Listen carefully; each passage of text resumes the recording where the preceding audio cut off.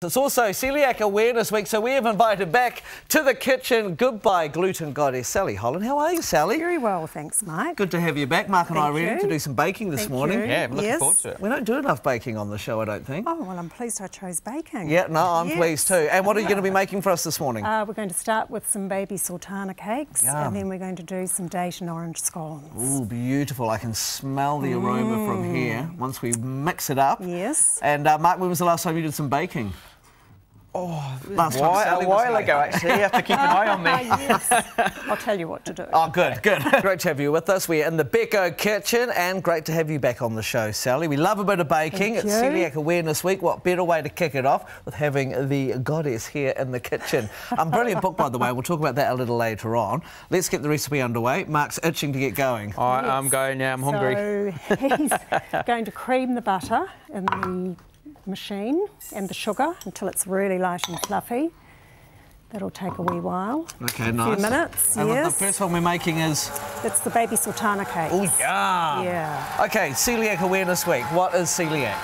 Well, celiac is this disease that people have when they are allergic to wheat, rye, oats, and barley. Okay. And yeah, Well, that cuts out a lot of food, doesn't it? Okay, and this is why you, you got involved because you, you know, you loved a mixer when you were a Mm, I baby. did. You absolutely lived by it. You've worked with greats like Tui Flower over the years, and then your husband. Um, he's celiac, isn't he? He is. So you had to adapt your cooking, and now you're just sharing it with the rest of the That's country. That's right. Yeah. And has it been difficult? Uh, in the beginning, it was. Yeah. It was really difficult, but he was diagnosed 14 years ago. Right. So we've come a long, long way you since have. then. Okay, cool, and a lot more people, Yeah, huh? a lot more people. Yeah. And the Celiac Awareness Week is amazing because it just does make people aware. No, you're right. And when you get good cooking out of it as well. So where are we up to now, Mark? Uh, we're still creaming. Still I mean- creaming? creaming. Yeah. So he wants to Yep. cream together and he wants to go white, so that's what we're looking Yep. for. I'm there for the scones, so don't put those in there. Okay, cool. So this is good. The bake- Stressful, mate. yeah, true. Yes, two recipes on the go here. Okay, so so this is good. So your book, 90 recipes. You say they're fail safe, which is great. Um, but what I liked about it too is that you cater for children's parties in terms of the baking, because I guess a lot of children now Well, have they allergies. do. Yeah. You know, children are being diagnosed from babies as soon as they start eating solid food. Oh, and catering for a birthday party for a child must be quite stressful for parents. Exactly. So get your book, make Exactly. some delicious recipes from that, and everyone's happy. Exactly. And there's also, um, in the children's chapter, there's also recipes for school lunches. Things Brilliant. that, that can be popped in the lunchbox. Nice. Well, I wouldn't mind some of these sultana scones and uh, uh, in there. so what are we Yeah, doing that's now? good. Just whiz it up. Right, so we're, we're just going to add the eggs one at a time. It's quite We easy might to- have to scrape down the Scrape it sides of the bowl. Just to, It's quite. It's quite easy. I know how actually. you feel now. yeah, yeah, true. Yeah. because it sort of goes up the sides of the bowl, so you have to give it a. We just have to make a bigger recipe then, don't you? Well, there's a lot of people There here today, go. so you There know go. it'll be good. Right, and then so we're back on. So yeah, back on, really high speed. Get it nice and creamy. and then Sort it's one egg at a time. Mm-hmm. Get it in, then next one.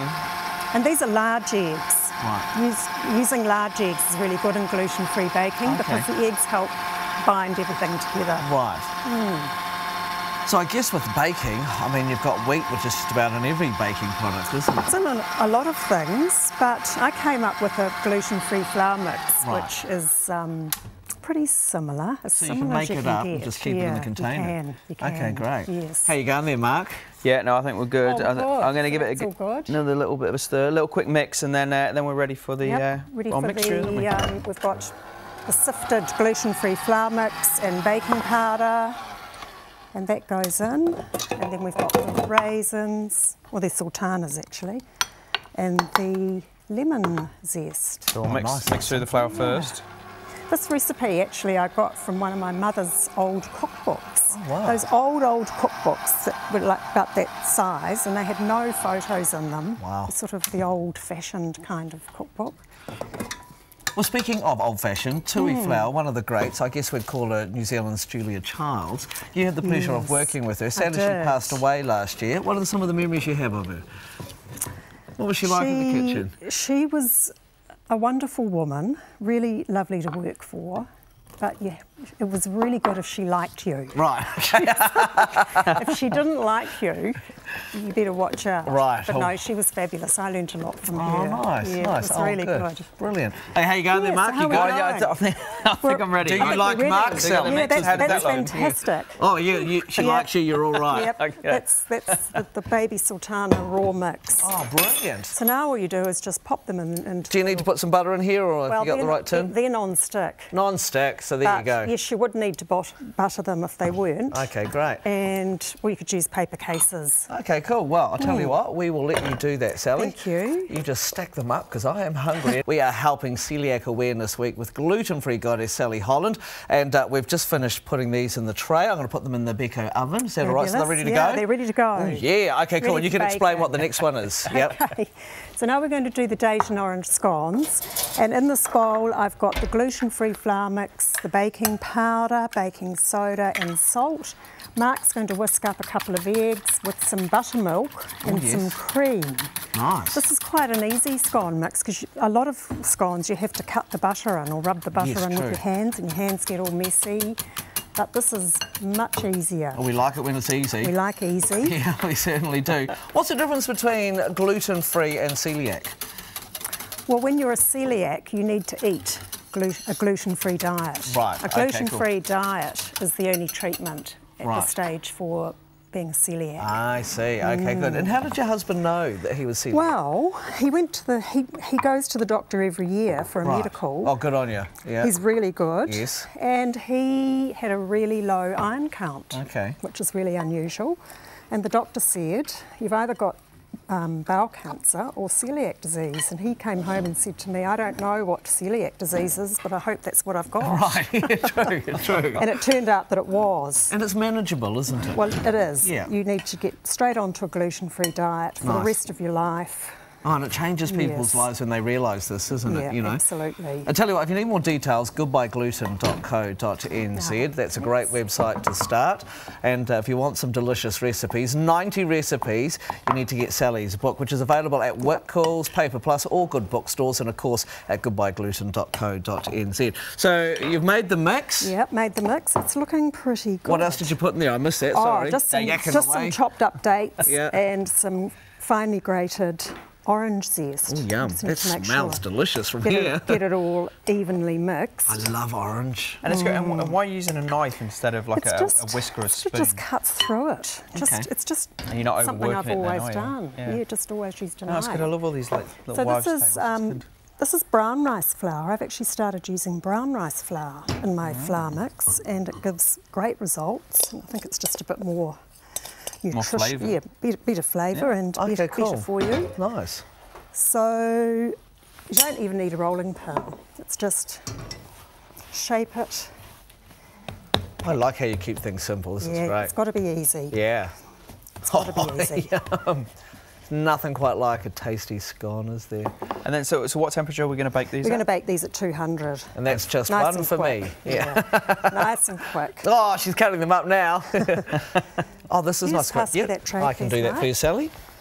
And just go on there, and then they're going to get the tops brushed the with brush. cream. And if you don't have one of Oh, these fancy go. cutters at home, you can just use a um, just A use glass. a cup or a glass, yeah, Yeah, anything. can. Or a knife. You Or a can make knife. Square. Square. Or just do one big one? and so I just paste them a little. Yes, please. Okay, cool. How much do you want? Just that's good. That's good. Okay, good. That'll just make them nice and golden Oh, yeah. on top, which is what we Nice want. work. I had one lady send me a message on Facebook saying sh- these were the best gluten-free scones she'd ever had, and she was, she's been a celiac for seven years, and she was Wow, that must be great. so overjoyed. Oh, sorry. so, and then when you've got this left over, you can just kind of, Pop it together again and re-roll it and, and keep getting more out of it. yeah. Well, that's a good thing because you don't need to sacrifice on taste and flavour simply because you're making it gluten free. You don't. You know. You don't. And I've got friends that are gluten free, and you know when they come around for dinner, they always bring their own bread and stuff. It'd be quite Well, nice actually good. to make them something. Yeah. have to Yeah, get a you need copy a of you, the need, book. you need a yeah, book. that's you, right. need, you need the book, Mike. You can. I'm one of those guys. Oh, you got an allergy? Have you bring your own? but now, what you can do is be the hostess with the mostest and actually make your own Here we and go. surprise them. We're all ready to go. Okay, I'll keep I could carry on, but I'll You know they'll be watching this and expecting that next time they I know. I know. Yes. I can email you some recipes. Oh, good, good. Thank you. Sweet. And as I said, don't forget to check out that website, goodbyegluten.co.nz. It's always good that you come in, Sally. I it's a love coming great in. start to Celiac Awareness Week. Your stories, your recipes, and your energy in the kitchen is so good. So thank you so much. Thank you. Great to see you. Thank cool. you. And also Mark helping out. Good on you, mate. These recipes are on our website as well, by the way. Smells delicious. Thank you so much, Sally. My pleasure. Yeah. Okay, yeah, been fantastic. Can't wait to eat. Mark, what are you going to be doing mm-hmm. tomorrow? Well, I'm joined by another guest in the kitchen and we're making something special for breakfast. Oh, yeah, I love breakfast. My favourite meal of the day, I reckon, actually.